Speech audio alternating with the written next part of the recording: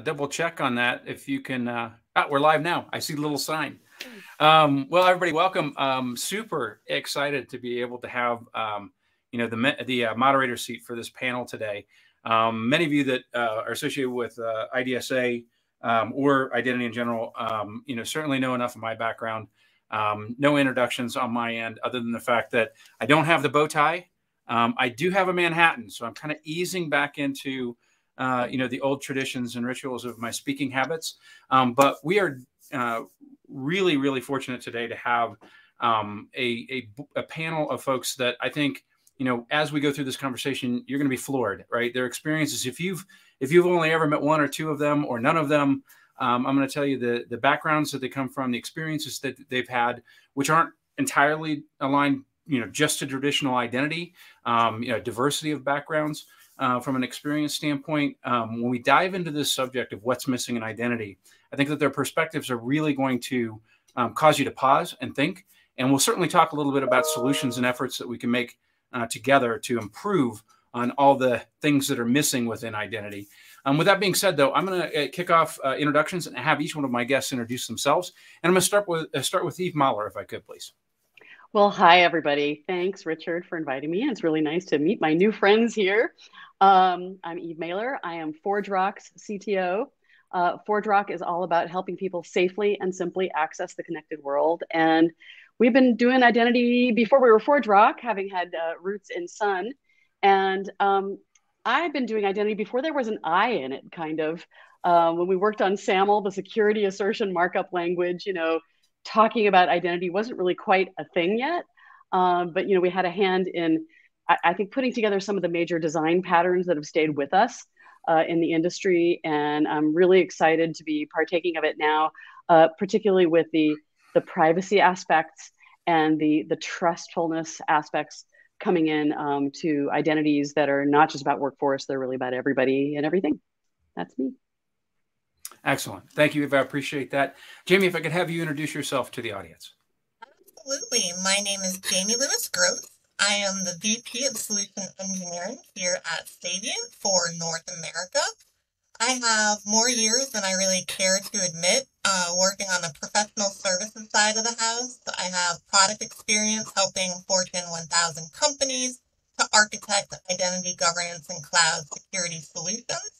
I've held a variety of global enterprise leadership roles uh, having to do with consulting and really guiding uh, customers through workshops, program formulation, and ultimately the development of IAM roadmaps to make them successful in their endeavor. So thank you for having me, Richard. I'm excited. Well, I'm very glad that you're here with us, and um, I'm going to um, pitch over to an old friend. Um, we've been uh, we I always like to say that uh, we've been in the trenches together um, for for a long time. Um, I'm very excited to have Helen Patton here with us. And if you can introduce yourself, Helen. Sure. Old friend, Richard. Just thanks for that. Uh, um, yeah, so Helen Patton, I am currently an advisory CISO at Cisco. Um, boy, uh, before that, eight years as the CISO at Ohio State. And as you may know, higher ed is where we blend consumer identities and professional identities and dead people's identities and everything all in one big cesspool of identity. So, higher ed for eight years, learned a lot about identity there. And then prior to that, I was 10 years at JP Morgan, which is where I bumped into Richard, uh, doing a lot in the identity certification spaces uh, for financials. yeah, sorry, uh, Shiva. Uh, for, yeah, so uh, this identity thing has been going on for a long time in my career, and I'm really happy to be here. Thank you very much, Helen, and thank you everybody for uh, joining us that's watching, as well as for you know those of my panel members that have agreed to jump on this thing with me. Because I will tell you, as we were kind of going through the preliminaries on this, I, I made a statement that uh, my goal was that it would be 10% Richard speaking and 90% my panel speaking, and I will tell you that all of my panelists began to take immediate bets on the probability of that actually happening. Um, but actually, I think it's really interesting, Helen. You mentioned something going back to our chase days that I think is fascinating because it's been a thread that's been um, kind of pulled recently, um, and I think it represents where where the big question is. The first question that I'll put on the table for everybody, um, and that is, you know, what's missing in identity, um, and and the thread that you know is is kind of an interesting connection point is this whole notion of certification. Um, I did twitch. Um, it did feel a little bit like PTSD, um, but I, I, have gotten into a pretty kind of healthy, vigorous debate around how unhelpful uh, certification as a mandated uh, requirement is. Uh, many companies have to go through it on a quarterly basis, some annual, uh, but it's thousands of companies, and it hasn't you know really kind of moved the needle in understanding the importance of identity and access, entitlements, attributes, and all that kind of good stuff. Um, and it, it seems like you know Groundhog Day pretty regularly if you work in identity. I mean, I was having these same arguments about certification nearly 13 years ago. Um, so, you know, as we talk a little bit about what's missing in identity, I'd be interested in your your perceptions or your thoughts on, you know, what are the things that that feel like we're stuck in the mud, that we're not making, you know, these substantial dramatic improvements, maybe even along with all the other kind of NIST and ISO controls um, that kind of dictate cybersecurity. I'd be interested in, you know, understanding, you know, where you think, uh, you, you know, those kind of persistent problems uh, still reside within identity. And uh, Jamie, if I can start with you first. So I did witness some of the certification debates on LinkedIn last night. I like how you provoked the conversation for sure, and there were certainly some good some good comments. Um, I very much agreed with. Uh, you know, I don't think that certification is necessarily doing what we need it to do because it's just a process that no one looks at all that closely.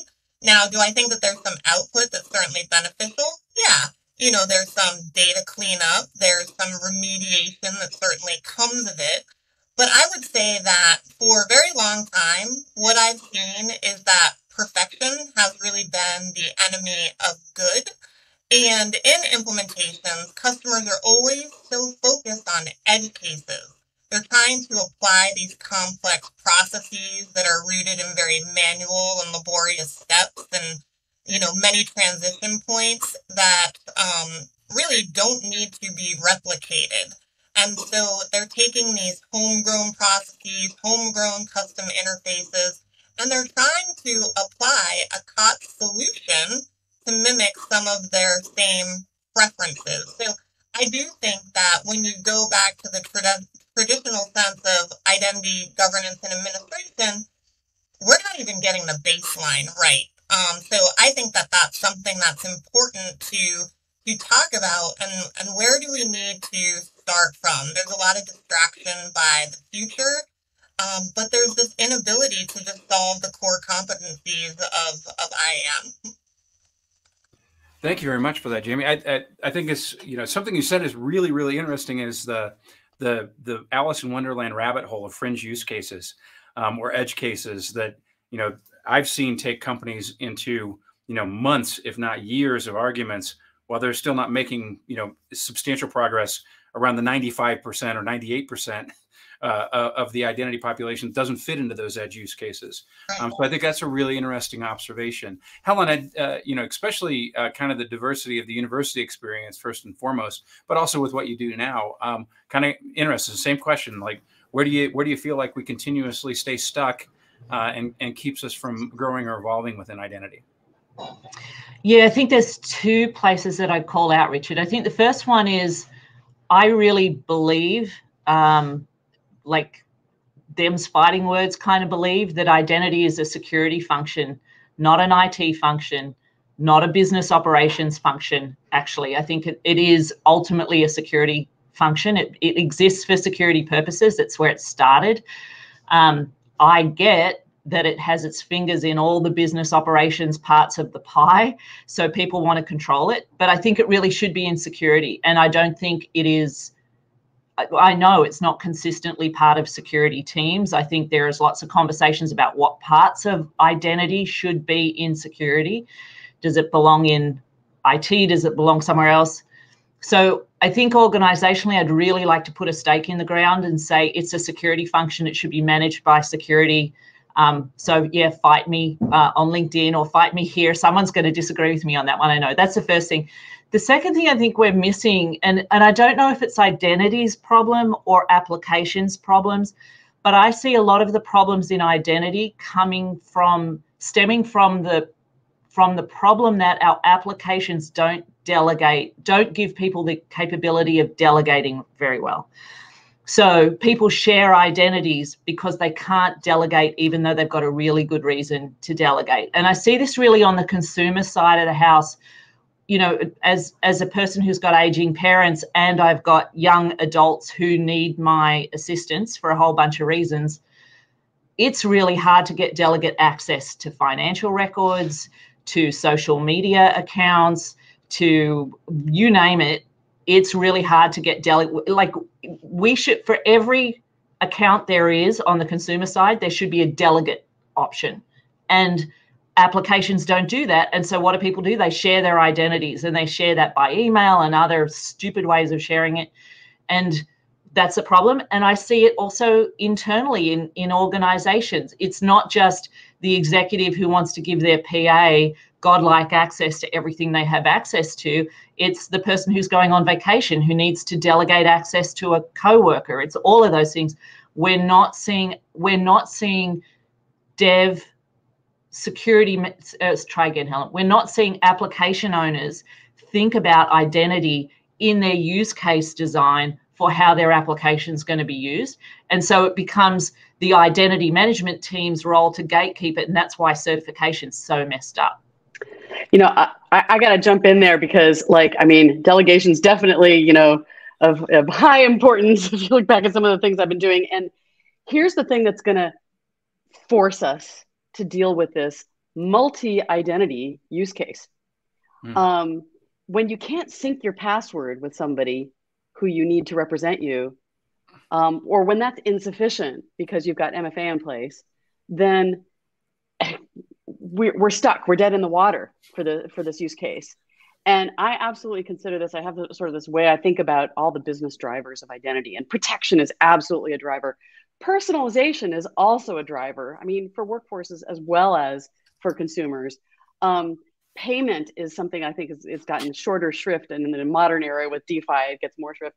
And then people to me is absolutely a business and personal driver and that's where you find like wanting to connect wanting to share only selectively. And that's when you know what looked like web access management 15 20 years ago looks like doing the same thing only giving the the power of that to individual people and I, I consider this to be you know we're looking right through it and it's right there and um, because it involves multiple identities because it involves relationships all right there i said it um, that's it's it's absolutely essential and it takes us outside the comfort zone of traditional IAM. And there's there's those of us who have called it identity relationship management for a long time. And it's really the way to step up not just the protection, not just the personalization, by the way, also the people aspect of it. So people get what they want out of, you know, sharing health records, uh, bank accounts, um, the rest of it, smart devices. Well, Eva, the delegation piece is interesting to me because um, you know, I've done a ton of work in Australia. Um, and before COVID, uh, there was a lot of uh, meetings, committee sessions, and everything going on around um, CDR, uh, consumer data right, and uh, open business, open banking down in Australia. And I remember actually sitting on a panel like this one, just in Australia, and a couple of ministers that were around, uh, you know, and and part of the panel. And I had mentioned uh, the notion of, of medical powers of attorney. I said, it's great to see what you guys are designing. It's ahead of so much of the rest of the world what are you guys doing about medical powers of attorney? And one of the one of the ministers that was sitting on on the you know panel with me looked at me and he goes, "Yeah, um, we actually figured out that that's really hard to do. Um, so we're gonna we're gonna postpone doing anything about it." Um, Looking for their keys under the lamppost, so to speak. Well, it's not here, but that's where the light is. yeah. Um, so I think it's really fascinating. Back to Helen's point that people are recognizing the the need and the complexity and the challenges of these use cases. And also back to what Jamie said, that in this particular regard, and instance, particularly on the consumer and citizen side, uh, these aren't, you know, edge use cases, right? The um, I, I, I, always use this notion in one of my presentations that you know information supplied from the Department of Health and Human Services in the United States says that on any given day, 25% of the U.S. population is under some form of medical order. Like that's a pretty big number, right? That's not a fringe use case. So um, excellent. Well, I appreciate um, us digging a little bit in that. We want to, we definitely want to jump into, you know, a couple of details. And there's so many things. Felt like it was a stroll down memory lane. I hear wham. right here certification, you know, all the good stuff. Um, but when we uh, are looking at a kind of really where where cybersecurity is going, I want to come back to what Helen said. I, I believe it firmly belongs in security. Um, I obviously can come from that um, same fabric um, because that's how I got introduced into identity. When J.P. Morgan Chase decided that identity was a security principle and took it away from you know all of the uh, Windows uh, engineers and uh, consolidated it within the information security space. Um, this is an interesting place though because there's still arguments. And last I checked, identity actually has a section in NIST. It has a section in ISO. It has a section in Garda. Um, we have the you know we have the Identity Management Institute in Europe. We have ID Pro in the United States, and obviously we have you know IDSA, you know who are you know all here representing today. Um, why your perception? You've seen a lot of different scenarios. Why is it so hard to convince people that identity is security when entire you know government and quasi-governmental organizations have clearly defined it as such for more than 20 years and yet that whole reality of, of the existing body of knowledge gets ignored like are we just bad at marketing like what is why do we have a problem convincing people that identity actually is security because um, cybersecurity writ large is so good at marketing. well, Eve, I'll, I'll tap you first for that one. Well, you know, I do think it's kind of a brand awareness thing a little bit. I mean, until NIST 800 207 and associated executive orders and things um, around, I'm going to say it zero trust. And that's when I have to start drinking. Um, cheers. cheers. Um, I think that was maybe the start of a kind of awareness that we need. And, you know, I, I call that whole thing kind of a, a 10 year overnight sensation. It's not like we didn't have the concepts of, I don't know, I call it the P star P architecture, you know, PDP, PEP, all the rest of it. Um, and, you know, it's, it's not new. It's hard. It's challenging. It's best done actually by professionals in the same way that you shouldn't write your own you know crypto package you probably shouldn't be writing your own handling of what is some pretty sophisticated like mfa options you know fido and things like that you know keeping up with that is hard and it's an arms race and recognizing that there's a core competency in it uh, i think is, is, a valuable step towards the light just to piggyback off of that eve i think that there's a lack of discipline is what i found so the right technology is very important but it's not at the cost of people and process. And that's what takes so much time to evangelize and socialize as you're rolling out these programs. You know, you you build up some some momentum. Somebody wants to own it. Somebody's, uh, you know, taking responsibility for those those quick and incremental wins, and then it it just peters out. So then those those programs tend to fail, and then they're back at it, and they're trying to do it over again.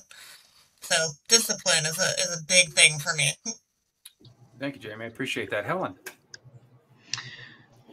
I'm going to oversimplify. I, I, I think if you know, security started as a technology problem and identity's always been a people problem. And so security has sort of stepped back and said, mm, if it if I can't throw a tool at it, it's not worth putting in the security bucket. Or frankly, they didn't have the resources to do it because it is a nuanced, complicated kind of problem to deal with, actually. Um, and at the same time, you've got CIOs and CTOs who say, you know, identity is a core of how we how we manage our IT. So therefore, it's got to be a core of the IT function as well. So there's, you know, there's this tension, like things like if if you manage an Active Directory or ADFS or whatever you want to call it, is that an IT function or a security function? Well, I would argue it's a security function. But in most organizations, it's part of the Microsoft shop or the whatever mm-hmm. shop. And and it and traditionally it's always been so and so it will always continue to be so up until i'm going to say it too zero trust and you go identity of people identity of device identity of microservice is the beginning of the security perimeter now so if that's the security perimeter, it should be part of security. And and this is making like IT and security people like yeah. I, I, so, so identity identity is like the blues notes of the situation because we're falling through all the cracks. It's like i want it but i want it too. I don't want it. I don't want it either. It can yeah. do multiple things. I mean i always i almost wonder if what can square the circle though is you know CIAM you know consumer facing identity for people we're not the boss of and you you've lived it right helen? It's like you can't make them do things. You have to fail gracefully at the right points. Fraud detection comes into play with the higher yep. numbers. And solving it for those hard cases where honestly there's some disjoint concepts like single sign-on really means something different. It's a different business purpose um, for the different populations. Um, I've always been fascinated by that, by the way, you know, having all, spent all those years in SAML where all we talked about was, you know, employee use cases. Um, it's, it's like I think solving the problem sort of for the hard cases, I think it can help inform, and I think it is helping inform due to pandemic era, you know, remoteness and all the rest of it. It's helping to inform how we can do it better for everybody, reducing friction, making sure that there's kind of this no compromises approach to the security and experience, the protection of the personalization. Absolutely agree. Well, I want to. Uh, uh, we're about halfway through our time, and I want to make sure that we open up the window for you know opportunities for our audience to ask questions. So please uh, enter questions that you have uh, into the comment section, and we'll make sure that um, you know we address them as they come across. Uh, but we, we do want this to be interactive, and and I'm going to deep dive a little bit in a couple of different things that I heard because um, I think they're really fascinating about what's missing in identity today. Um, you know, for me, one of the things that I heard um, uh, is the you know the complexity, the challenge of managing identity. And I hear this all the time. Like, yeah, I get it. You know, uh, uh, managing identity is really hard. And I'm always like, you know, manage identity like you manage it in the analog, right? People are people, right? The digital identity that they have, mentioning John Kindervag, he, he said there are no human identities; they're all proxies, you know, for us. They're representations of us in the digital world. And then I get the the second uh, rationalization or or uh, refusal, which is, well, we can't treat you know identities like people in you know we can't do real world in the digital. And last I checked, cryptography and cryptology is what thousands of years old. Signet rings and all of that. And, You know, firewalls are literally named after something that was built in Rome to protect a library. You know, the the the concepts within security have always been grounded in the analog, even as they were being built in the digital, with again, the one exception seeming to be identity, right? Um, it's like the it's like the security control that time forgot. Um, and and when we look at that, I think that it is interesting to me that there's this tension um, with with providing kind of a connection point between real human beings and their digital selves, right? And um, you know, Eve, I think you mentioned it on the CIAM side. This idea that um, people are no longer satisfied with an experience that's predicated based on an account and password. Um, their experience, their their experience um, expectations are being driven by a much more richer notion of who I am digitally and what it represents to me, you know, in the analog or in real life. Um, and yet, I see a tremendous amount of slowness as well as kind of fragmentation you know who's the buyer who who's responsible for something like CIAM and how do i get you know 18 different business units to agree to who owns uh, you know a single you know representation of a customer. Can can we'll go around the horn here but you know Eve, can you start with some you know some observations you've had around kind of the challenges of what are really kind of the nascent beginning days of this you know consumer facing side those that you're not a boss of uh, what that's like? Well, one of the things I guess I could say to, uh, about that is um, oftentimes there's been this talk about single view of the customer, you know, that a brand has to has to aspire to, um, and they aren't necessarily thinking about it. They're missing some some opportunities and not thinking about it as a single view of you to them like you know a, a, shopkeeper something on a very small scale in the real world the relationship that's built is incremental. It grows over time. It's granular. You know we've talked in this industry about you know the creepy feeling that you get if you walk into a hotel and they call you by name before you you know announced yourself and all that. But if you were to do that at your dry cleaner there'd be no shock at all. It would be comfortable. And so um, presenting that kind of transparency and giving that control to people these are you know terms that i use when i talk about kind of the new privacy is data protection is like the old term and it kind of means not letting the data accidentally out And that's a very non data subject centric view of the universe. And so, one of the things that we have to account for is the need to be responsive. And I mean responsive in the old fashioned, you know, web app responsiveness way in terms of the authentication methods that we provide, the what we reveal about what we know about somebody, uh, how we ask them. I mean, there's obviously regulations about these things now, and they try getting tighter and tighter around consent. And it's like slipping through the fingers of the regulators in a sense because it it deals with all the the messy stuff. So I think the single view of you to them, to to your you know the person you're not a boss of, is is a critical part of solving hard security problems and hard problems that businesses have an inherent um, desire to solve. And so, you know, I think identity is finding, to a certain degree, its level uh, among chief digital officers and chief marketing officers. And, you know, I, I don't want to sort of put it down to privacy compliance. I'm working with a number of companies that really have a higher maturity and and really want to leapfrog and and demonstrate trustworthiness. It's got to go both ways. Thank you. I appreciate that. Helen, I know that you've had a lot of experience in people's expectations, especially, like you said, when you're talking about students, alumni, dead people with names on buildings, all those kind of variations. Um, what, what's been your observation the expectation on the consumer side?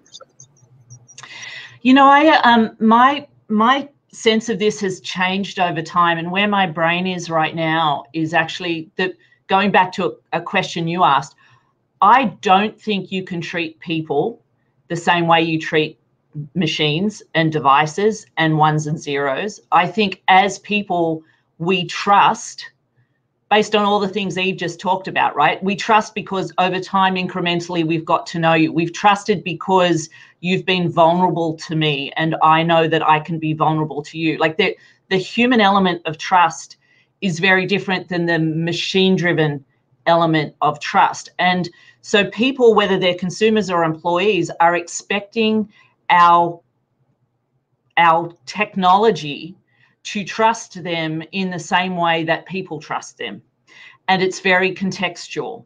And that is why it becomes really hard to be able to recognize when someone is trustworthy or not. The person who shows up as Helen Patton to the office today could be an insider threat tomorrow and all my genetics and all my configurations and all of those things are still the same, but my motivations changed. And that's something that is really hard to assert and assess. So we need to be able to recognize that the human element is different. And we are going to have to look for external indicators of trustworthiness. But I think what, it, what humans expect is the ability to see those and respond to those and defend themselves against those and our judgments that we make about them. And so that becomes like in, infinitely more complicated, actually, um, which is why I'm looking for things like delegate access because then I uh, it's one level of assertion that I I don't have to like I need access to this thing on behalf of my parents because they are no longer capable of dealing with it themselves, for example, is a perfectly reasonable assertion to make right? But our machine to machine kind of signals tracking doesn't do that. And I worry as we think about blockchain, yeah, I said it, blockchain, and BYO identity, that you know are we are, are we going to put context on the blockchain? I don't think so. Do we want to? I would is is context immutable? Do i want it to be immutable? No. So you know I, I think there are some really great ideas out there but i'm not quite sure where we're going to take it or how we're going to take it, recognizing that humans want to be treated as humans and not as ones and zeros. Yeah. I, you know, the context piece is really, really interesting. And Jamie, I'm going to pitch this over to you in just a second. But I, I, always like, you know, especially when we talk about blockchain or, or uh, SSI, you know, we do know that something like marital status is a representation, an attribute within an identity, right? But if, you know, if I've no no longer decided to live in the same house with somebody I'm married to and we're separated and my partner clears out my accounts because my actual status is married, but it's complicated. Actually doesn't really fit on a blockchain, right? Like that, that's why relationship has to be kind of a first class object. I mean, yep. being able to do policies basic on that basis. This is literally something that we the the UMA work group wrote about really recently uh, in the context of healthcare records. And so it's exactly you know Helen the kind of use cases that you're talking about. So if people want to see that, they can go go over to start to talk about third party Kantara uh, and, and take a look at that that uh, that white paper. Absolutely. And and Jamie, I know that you've kind of seen, you know, changes in expectations relative to what the access plane looks and feels like, you know, to, you know, people across the kind of digital spectrum. Just kind of curious if you've got thoughts on the subject. You know, something that uh, occurred to me when he was speaking, he mentioned creepy. Uh, you know, you walk into that hotel, they know your name. So I don't know if any of you watched John Oliver last week with uh, last week tonight, but he went on this whole diatribe about the creepiness of user data. And I just thought it was hysterical because, you know, this is at the forefront of what we do. I mean, it was very specific to data brokers, but something that he mentioned as he was talking was the fact that, you know, medical information when you relay it to a physician, it's protected by HIPAA, but not data that you search for. And so now we are compromising privacy of individuals. So I think that it's we have to, you know, represent, um, you know, our greater greater ecosystem. Though I specialize more on the enterprise side of the house, it got me thinking about, you know, what is going to change in terms of, you know, federal privacy laws. They've been under consideration for some time, but what are we going to see change within our overall industry to protect some of this data? Because, um, you know, as he said, we're, we're targeting people in a very oddly specific way. That was a hilarious segment, hilarious. by the way, the one on, on data. I mean, funny because it's true, also kind of uncomfortable because it's true. Yeah, exactly. I will I will be using oddly specific in in many upcoming speaking presentations. um, I, you know, I'm actually going to weave. We've got some really interesting questions that have come in, and they've all actually kind of been associated to the same theme. So I'm going to try and buckle them together. And one particular statement about a quote from somebody. Um, and and before I say this, um, you may have noticed that we've taken a drink when I say the word zero trust. Um, and and the reason is because that's our buzzword today. Um, you know, for for taking a sip, but um, I, I, that's somewhat tongue, tongue in cheek because actually even I both sit on Cyber Theory Zero Trust Institute, and I think it's really interesting. Somebody brought up a, a quote from John Kindervag: um, "Trust is a vulnerability." And uh, yes, absolutely, trust within the digital is a vulnerability, and that is always the way that the way that John has referenced it. Um, the digital is is a is systems he even talks about it at the packet level. Um, but I would point out that that John and the folks at Cyber Theory thought um, it was really important to bring identity people into the zero trust conversation. And um, and so John is a friend and a much longer friend to Eve uh, than than to myself. Um, and we talk about this particular notion all the time because identity is the actual interface um, human beings ultimately i know that we've got bots and i know that we've got service accounts and all this other kind of stuff but when we talk about digital services and a means of production that's provided by technology the interface that is constantly ignored is the human being. Um, and the human being this is why it's taken 30 years um, to still not fix user experience and to still have massive conversations about user experience because the human being is the interface and this is where the difficult transition comes because in the human side of the equation, we have to extend trust. And we talk about trust in terms of context. Um, and I think Helen mentioned it. I've seen you multiple times. You've done business with me multiple times. The way I always like to say it is I cannot walk into a, a bank and self declare that I'm a private wealth management client, right? The bank gets to make that decision based upon what it knows about me. You know, so as we look at this, and, and I want to bring it around to zero trust because I think it's always an interesting conversation. One of the questions that we got is I think a good secure identity isn't easy enough for the general population yet. Thoughts on making it easier for everyone to have good identity hygiene? the reason why I think it's a great question that weaves into zero trust is, is that the very foundation of zero trust is you have to understand your inventory. And yet, every one of us that's on this uh, this screen today, and every one of you out there could walk into your companies or any other company and ask them how sure they are of the asset inventory that is the asset of human beings. People are our most important asset. It's slogans and companies, right? How accurate is that inventory in the digital? And um, I'm going to leave it there as a pause because I'd be interested in your notions on how accurate the inventory of identities is, and how does that lead into how clean are the inventories of these human assets within these systems, and is that you know a, a an indication of a substantial what's missing in identity today? Um, Jamie, I'll start with you. Well, no surprises here. Uh, organizations have no idea. I mean, there's multiple authoritative sources of information. I don't think that there's true visibility across the enterprise. Um, you know, there's truly hybrid environments. Uh, there's very little integration with CMDB.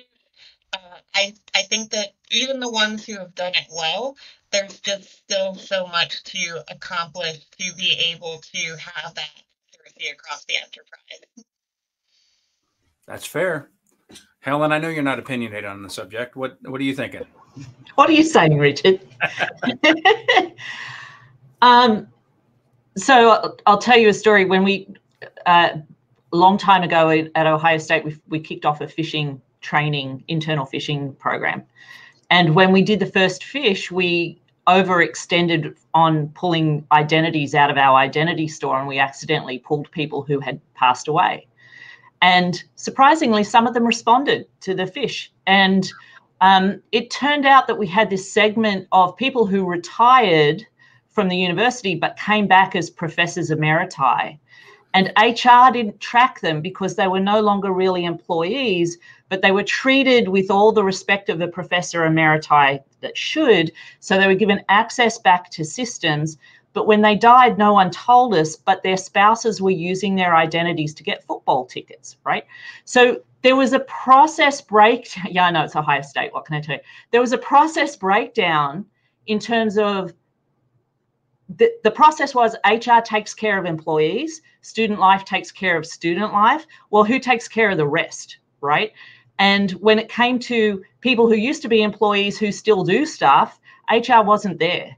And so it wasn't a human problem, it was a process problem. But it leads to this question of how certain are you? And that's just thinking about employees, let alone contractors, research partners, students who are active versus students who are inactive but are still thinking about coming back to school so we don't get rid of their identity right? All of and, and you can see this in customer databases all over the place. We never want to purge our customer database because they might come back and then they'll want their history and blah blah.